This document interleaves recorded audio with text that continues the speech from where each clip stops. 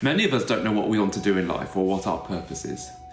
What is it that would make you look forward to Monday mornings and want to jump out of bed? What is it that we want to pour our heart and soul into? And if we don't know, how can we find out? The Japanese have a phrase ikigai, which translates as reason for being. And in this video, we explore how you can work out your own ikigai. Hi, I'm Sam, and I explore systems we can use to achieve more than we ever realised was possible. This video is split into six chapters. Firstly, I explore what Ikigai is, and then the five steps you need to follow to find out what your own Ikigai is. A few years ago, I watched a documentary film called Jiro Dreams of Sushi. And it's all about an 85 year old Japanese man who runs his own sushi restaurant in a subway station in Tokyo something that he'd been doing since he was 10 years old. While most 85 year olds would have retired decades earlier, Jiro is dedicated to making the best sushi in the world. He says in the film, I've never once hated this job. I fell in love with my work and gave my life to it. Even though I'm 85 years old, I don't feel like retiring. Jiro has clearly found his ikigai, but what does that mean? The creation of Ikigai can be attributed to the collective wisdom of Japanese thinkers. While the exact origin is not pinpointed to a single individual, it emerged over centuries as a response to life's complexities. The term ikigai is often attributed to Okinawa, which is a region in Japan where they really value longevity and the pursuit of a meaningful life. Ikigai has been an integral part of Japanese culture for centuries, shaping the way individuals approach their existence. At its core, ikigai stands testament to the Japanese philosophy of finding purpose and joy in the intricate dance of life. First element of ikigai is finding what you love.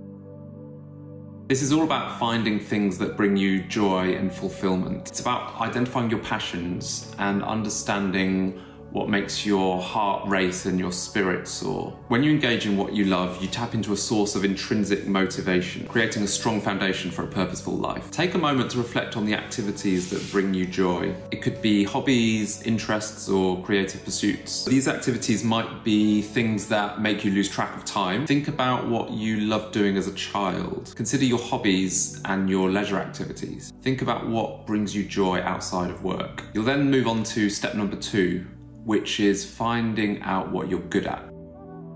So this element focuses on your strengths, your skills, and your abilities. It's about recognizing what it is that you excel at. So think about your unique talents and capabilities. What are the skills that come naturally to you? This might be technical or soft skills, such as conversation or listening. You can also think about your education, your qualifications. Identify areas where you consistently do well. This is one where it might be useful to speak to your friends or your colleagues and get their opinion. And if you start noticing patterns in the things that people are telling you, write them down. So we've looked at what you love and what you're good at. Now let's move on to what the world actually needs.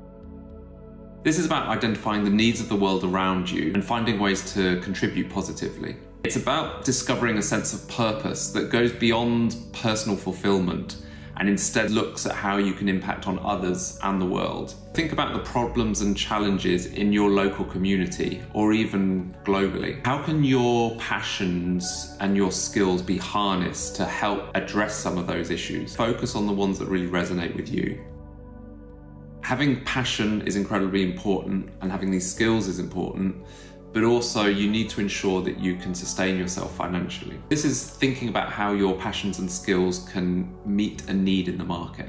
You could explore current and future market trends, and you could identify professions that align with your skills and your purpose. The key thing is identifying industries where your skills will be valuable. Now that you've done that, the power of the Ikigai process is finding those overlapping areas.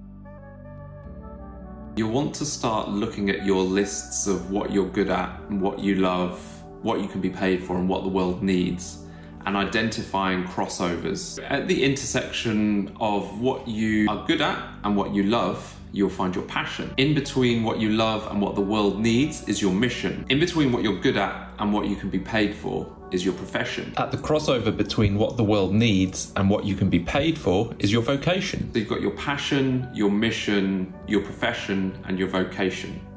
And in the middle of all of that you've got your ikigai. Finally, combine the elements that you've discovered into a concise statement. Keep refining your statement as you gain more clarity and experience. You can then use this process to identify particular activities that you might want to try out and experiment with. Pay attention to how those activities make you feel, and then iterate and refine your model based on those evaluations. The journey to finding your ikigai is ongoing, and it's okay to adapt and evolve over time. Stay open to new experiences, embrace learning opportunities, and continue refining your path based on what brings you most fulfillment and joy. Thank you for watching. Love you. Bye.